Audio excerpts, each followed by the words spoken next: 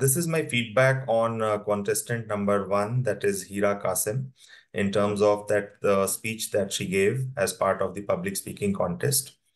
So Hira, I'll start off with uh, some of the positives which I noticed in your uh, speech, and then I'll try to touch upon some of the areas which, if you work upon and improve, can make you a much more effective speaker. So um, the the broad agenda of your speech was centering around self-improvement and how one can become a better version of oneself by getting rid of or moving away from some of the negative aspects of one's life or one's personality and focusing on improving oneself. So some of the positive aspects that I could uh, note down or figure out from your speech were first is that it was in a conversational manner. So you took upon the aspect of talking to a friend and discussing the topic in a conversational style, which I found was quite good and appealing.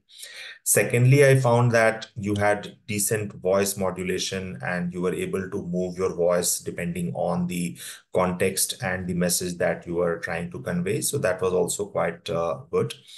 And uh, on an overall basis, I found that your confidence level was uh, fairly good and uh, you were able to maintain a decent tempo from the beginning to the end. So broadly, these were some of the positives that uh, I noticed in your uh, speech. In terms of uh, some of the areas that I feel that if you work upon, you can become a much more effective speaker. I believe uh, one of the aspects that uh, perhaps you could look at is ensuring that there are no grammatical errors. So in your speech, uh, if you notice and review, you'd find that there was a few points where uh, there were grammatical errors. So you need to work, work upon them so that the impact is uh, even more significant on the audience.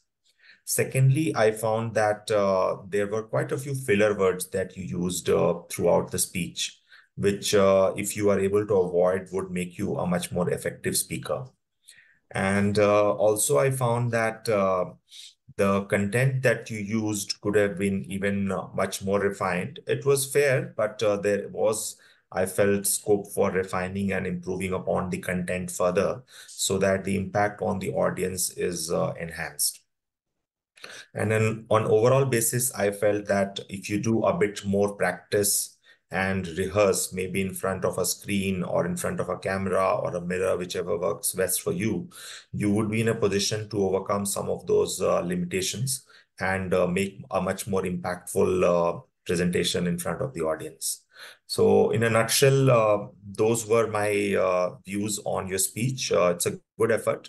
However, I'm sure you would realize that there are certain areas that if you improve them, you can become a much more effective presenter and speaker. In terms of uh, the rating that uh, I would give for your speech, I would give a 6 on 10 for the speech. I'm sure as you participate in more such events and gain much more confidence, you can do much, much more uh, better than this. All the best. Thanks.